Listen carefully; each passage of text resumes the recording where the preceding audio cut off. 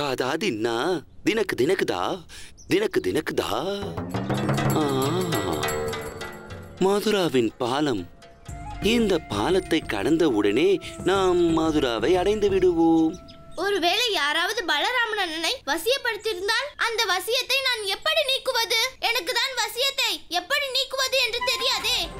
கண்ணா உன் புல்லாங்குழலின் இனிய ஓசை உலகத்தில் உள்ள அனைவரையும் வசியம் செய்துவிடும். யாரையும் அது வசியப்படுத்திவிடும்.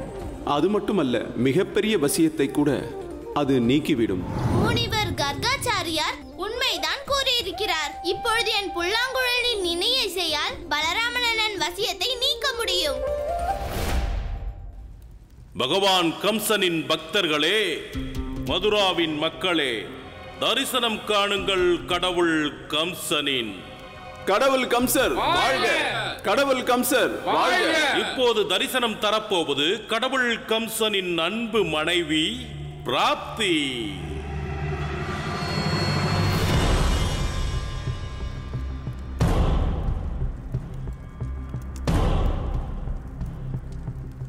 அடுத்ததாக இதோ இவர்தான். கடவுள் கம்சனின் மனைவியின் காதலன்.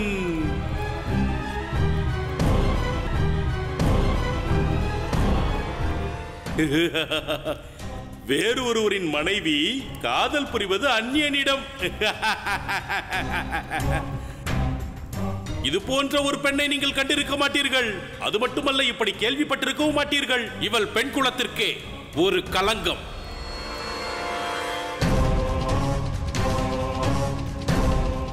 கடவுள் கம்சனுக்கோ எல்லாம் ஏற்புடையதே. இந்த உலகத்திற்கு ஒரு களங்கம் என்று சொன்னேன். இந்த பெண் பத்தினி அல்ல. மாறாக ஒரு பெண்ணின் அனைத்து அடையாளங்களையும் கெடுத்து வைத்திருப்பவள்.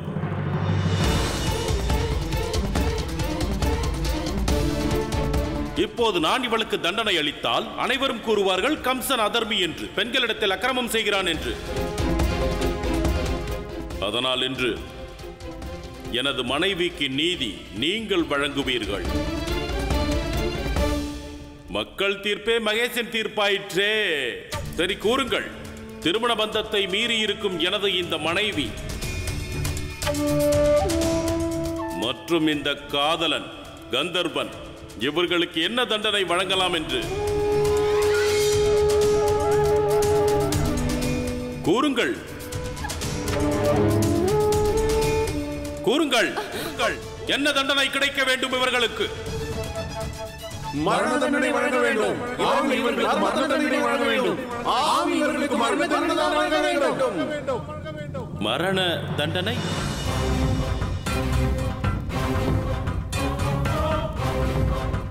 உங்கள் வாக்கே எனது தீர்ப்பு. எனது அன்பு மனைவி பிராப்தியே என்னை குற்றம் சொல்லாத இது எனது தீர்ப்பு அல்ல மக்களின் தீர்ப்பு. அந்த மக்களின் தீர்ப்பு என்பது இறைவனின் தீர்ப்பு போலாயிற்றே வாருங்கள்.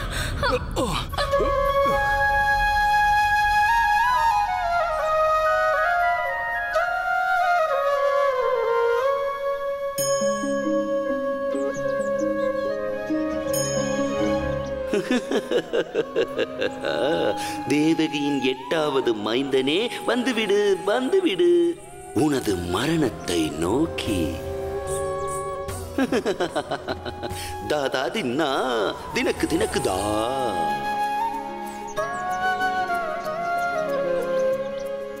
தினக்கு தினக்குதா இந்த ஓசை எங்கிருந்து வருகிறது? இது ஏதோ புனிதமான மதிமயக்கும் இசையாக தோன்றுகிறது.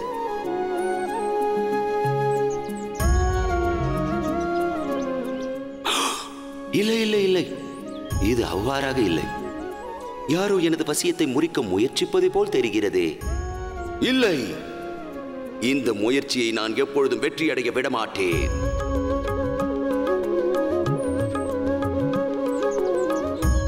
வசியப்பட்டிருக்கும் பாலகனே ஆபத்து நெருங்குகிறது.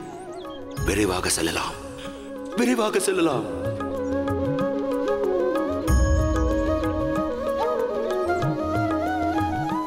விரைவாக வா. தோழனை பலராமா நீ பசியத்தின் கட்டுப்பாட்டில் இருக்கிறாய். நீ நான் சொல்வதை மட்டும்தான் கேட்க வேண்டும். நான் சொல்வதை மட்டும்தான் எனது சொல்படிதான் கேட்க வேண்டும். எனது ஆணைப்படிதான் நடக்க வேண்டும். எனது பேச்சொலியை தவிர உனக்கு வேறு எந்த ஒலியும் கேட்கக்கூடாது. ஆ, ஆ. தோழா பலராமா நீ நீ நீ நீ ஏன் நின்று விட்டாய்? வா வா விரைவாக வா.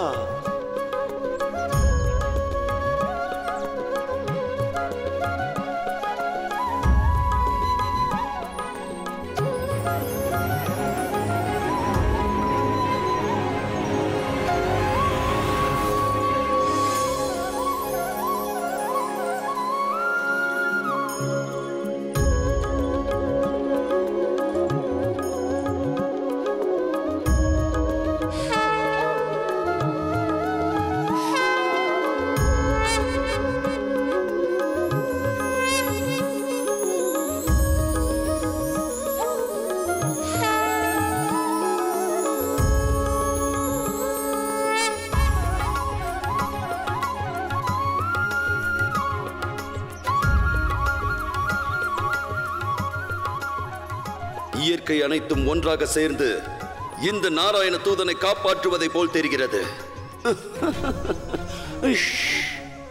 ஆனால் இன்று சாட்சாத் அந்த நாராயணனே வந்தாலும் நான் இந்த பாலகனை மதுராவிற்கு கொண்டு செல்வதை தடுக்க முடியாது. தாதா தின்னா தினக்கு தினக்குதா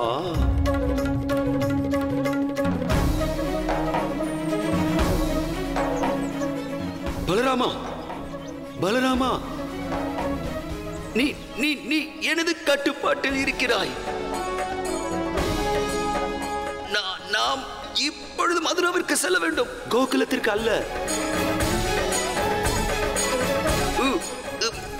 எனது தோழனே.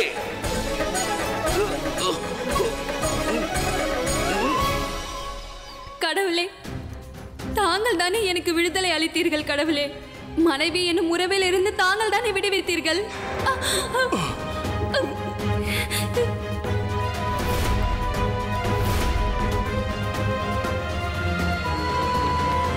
அதுதான் கடவுள் கம்சனின் பெருந்தன்மை.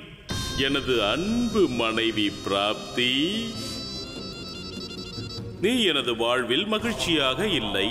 அதனால் உனது துக்கத்தைக் கண்டு மனமுருகி நான் உன்னை விடுவித்து விட்டேன். செல் என்று சுற்று என்று திறந்த வெளியில் சற்று மூச்சு வாங்கு என்று. ஆனால் நீ?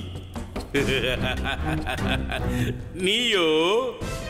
வேறு ஒரு கணவனை கொண்டு. இரண்டாவது இரண்டாவது காதலனை. இல்லை இல்லை இல்லை.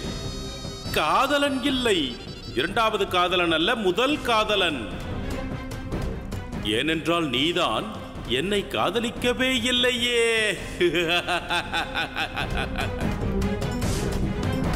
வேண்டாம் கடவுளே இதில் இவரது குற்றம் எதுவும் இல்லை. குற்றம் அது என்னுடையது. என்னுடைய குற்றம்தான். நான் கந்தர்வனாக பிறக்காமல் இருந்தது. இறைவா என்னை ஏன் அசுரனாக படைத்தாய். ஆமாம் சரிதான். அப்போதுதான் நான் இது போன்ற கந்தர்வர்களை ஆனந்தமாக கொல்ல முடியும். இவரை போக விடுங்கள் கடவுளே. நடந்த உண்மைகளை நான் உங்களுக்கு சொல்கிறேன். உண்மை. எந்த உண்மை பிராப்தி? அந்த உண்மைதானே? உனது திருமணத்திற்கு முன்பு நீ இவனை காதலித்த உண்மைதானே? ஜராசந்தன் அதாவது உனது தந்தை இருக்கிறாரே அவர் என்னுடன் உனது திருமணத்தை நிச்சயித்த போது அப்போது நீ உன் காதலை தியாகம் செய்து விட்டாய். அதுதானே? அந்த உண்மைதானே? ஆமாம் கடவுளே. அதுதான் உண்மை. ஆனால் திருமணத்திற்கு பிறகு எனது கடமையை தான் கடைபிடித்தேன். அதன் பிறகு நான் கந்தரவராஜனை சந்தித்தது. நீங்கள் என்னை திருமண உறவில் இருந்து விடுவித்த பிறகுதான். இல்லை இல்லை இல்லை பிராப்தி. நீ புரிந்து கொள்ளவில்லை.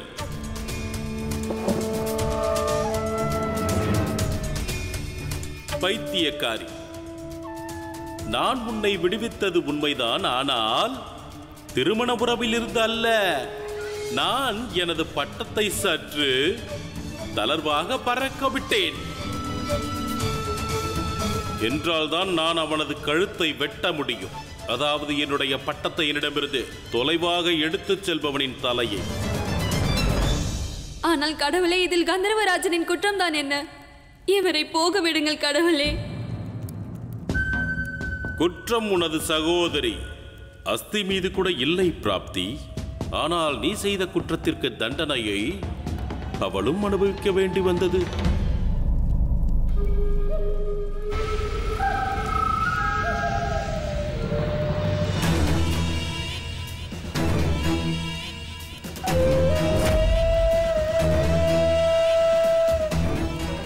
எது எப்படி இருந்தாலும் மக்கள் என்ற மகேசர்கள் உனக்கு நீதி வழங்கிவிட்டார்கள்.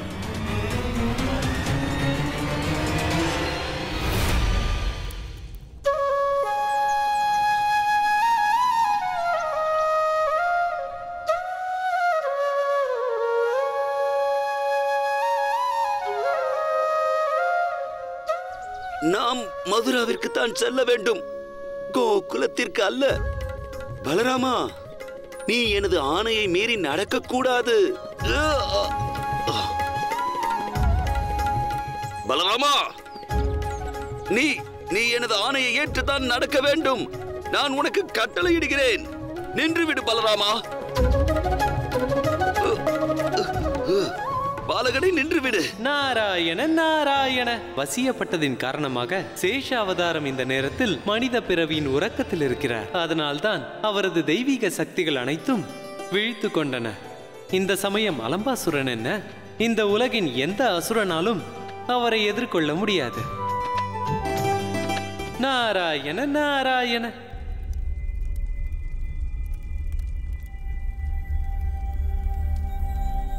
நீ இப்படி உற்று உற்று எதை பார்க்கிறாய் பிராப்தி?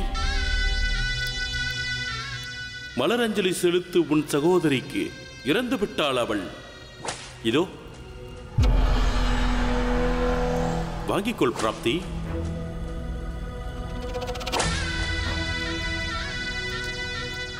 எனக்கு புரிகிறது. கடவுள் கம்சன் உன்னுடைய சகோதரிக்கு எப்படிப்பட்ட முக்தியை அடையச் செய்தான் என்று நீ அறிய விரும்புகிறாய் அல்லவா?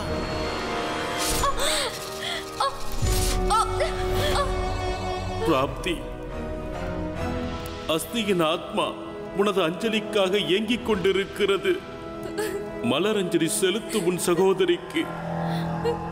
செலுத்த செலுத்த.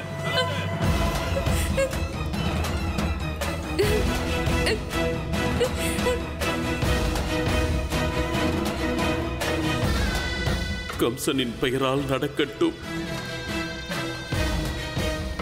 அஞ்சலி நடக்கட்டும். நடக்கட்டும்.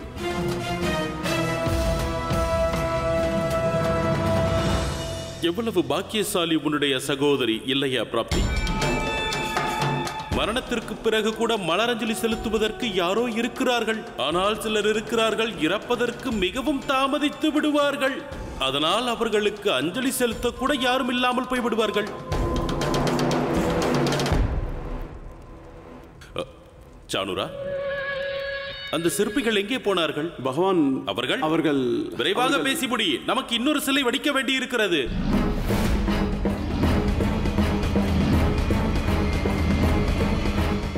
இல்லை இல்லை இல்லை பிராப்தி. உனக்காக அல்ல. அஸ்திக்கு தான் இன்னொரு சிலை. அது மக்களுக்காக. அது அவர்கள் விருப்பத்திற்காக. அதன் மூலம் கனவில் கூட கடவுள் கம்சனுக்கு யாரும் சூழ்ச்சி செய்ய நினைக்க கூடாது என்பதற்காக.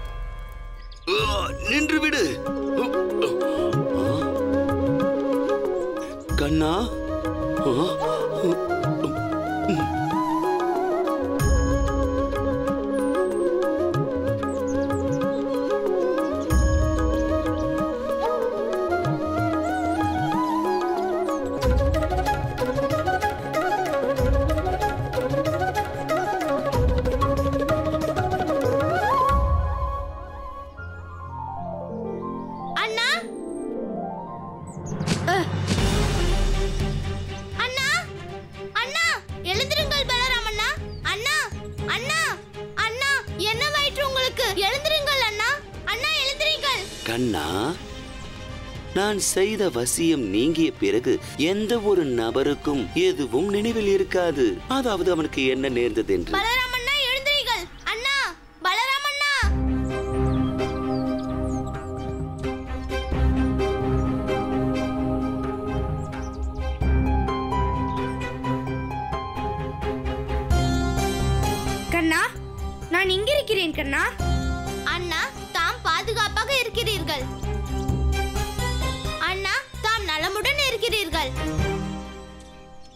அவனுக்கு எதுவுமே நினைவில் இருக்கக்கூடாது. ஆனால் நான் அவனுடன் இல்லாததை அறிந்து இந்த கண்ணனுக்கு அவசியம் என் மீது சந்தேகம் வரும். இல்லை இல்லை இல்லை. என்ன ஆனாலும் சரி. இந்த சின்னஞ்சிறு கண்ணனின் சந்தேகத்தை நான் போக்கியே ஆக வேண்டும். ஆ என்ன செய்வன் என்ன செய்வன்? ஆ. தா தின் தின் தின் தா. தினக்கு தினக்கு தா. கண்ணா நான் சலங்கைக்கு களத்தில் கட்டை எப்படி சுற்றுவது என்று கற்பித்துக் கொண்டிருந்தேன். ஆனால் எப்படி நான் இங்கு வந்தேன்? அப்படியானால் தங்களுக்கு எதுவும் நினைவில் இல்லை கண்ணா எனக்கென்னமோ இப்பொழுதுதான் உறக்கத்தில் இருந்து விழித்தது போல் இருக்கிறது. பலராமண்ணா அப்படி என்றால் சலங்கை தான் வந்து சொல்ல வேண்டும். களத்தில் என்ன நடந்தது என்று? அவன் மீண்டும் வந்து உங்களை சந்திக்க நேர்ந்தால்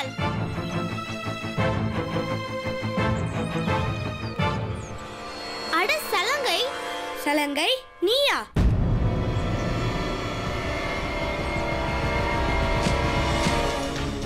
சலங்கை எழுந்திரு எழுந்திரு ம். இப்பொழுது இவனுக்கு என்னவாயிற்று எழுந்திரு தோளா சலங்கை எழுந்திரு. எழுந்திரு சலங்கை எழுந்திரு. என்னவாயிற்று எழுந்திரு.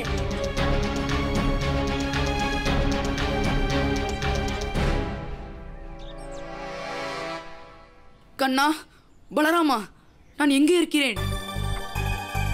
ஏன் நந்தகோபர் என்னை வீட்டை விட்டு விரட்டி விட்டாரா? சலங்கை அப்படி என்றால் உனக்கும் எதுவும் நினைவில் இல்லையா? உன்னையும் பலராமன் அண்ணனையும் யார் வசியப்படுத்தினார்கள் என்று? வசியப்படுத்தினார்களா? எனக்கு நினைவில் இருப்பதெல்லாம் உலகத்தில் தலை சிறந்த பலசாலியான பலராமனிடம் நான் பயிற்சி பெற்றுக் கொண்டிருந்தேன். அப்படி என்றால் இது ஏதோ ஒரு அசுரனின் வேலையாகத்தான் இருக்க வேண்டும். அசுரனா? பலராமண்ணா நாம் உடனே வீடு திரும்பியாக வேண்டும். ஒருவேளை அம்மாவுக்கு தெரிந்து விட்டால் நாம் வீட்டில் இல்லை என்பது அது மேலும் பல குழப்பங்களை விளைவிக்கும். வாருங்கள் அண்ணா.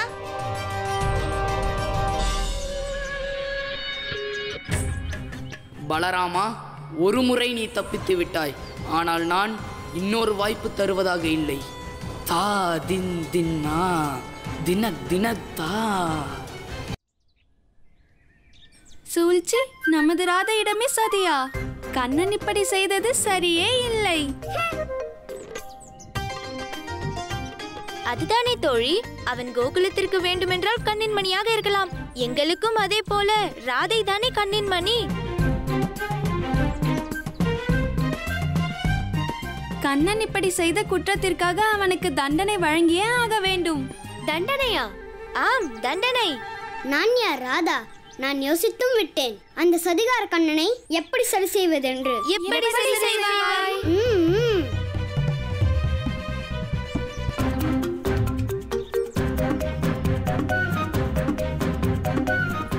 அடடா நாம் அந்த கண்ணனை பர்சனாவிற்கு கொண்டு வர வேண்டும். அப்போதுதான் நாம் அவனை திருத்த முடியும். ஆனால் ராதா கண்ணன் பர்சனாவுக்கு எப்படி வருவான்? நான் இப்பொழுதே கோகுலத்திற்கு சென்று கண்ணனை அழைத்து வருகிறேன். ஏனில் லலிதா இந்த முறை அந்த இடையன் தனது விருப்பத்தின் பெயரில்லை. எனது விருப்பப்படியே வருவான்.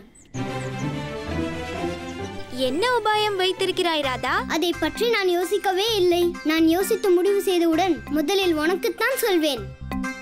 ஆனால் இப்பொழுது நான் ஓய்வெடுக்கும் நேரம் வந்துவிட்டது. நீங்களும் சென்று ஓய்வெடுத்து விட்டு வாருங்கள்.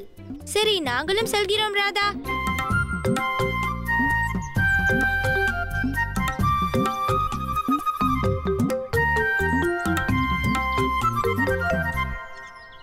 அது சரி பலராமன் அண்ணனை போல் சலங்கையும் வசியப்பட்டு இருக்கிறான் அப்படி என்றால் வேறு யாராக இருக்க முடியும்? யாரது இருவரையும் வசியப்படுத்தி தன்னுடன் மதுராவிற்கு கொண்டு செல்ல பார்த்தது?